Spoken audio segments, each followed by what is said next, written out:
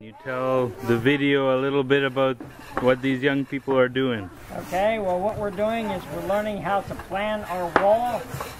They're going to fill in bricks the whole way around and we want to see if we come together correctly in the corners without any gaps or without not enough space to finish.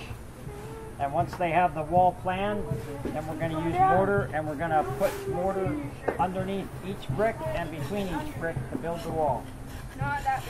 And how are they doing? They're doing great. Yesterday they got the whole way around and I don't think they had any problems with spacing yesterday. The first day we just worked on learning how to put them down and yesterday we worked on lining them up.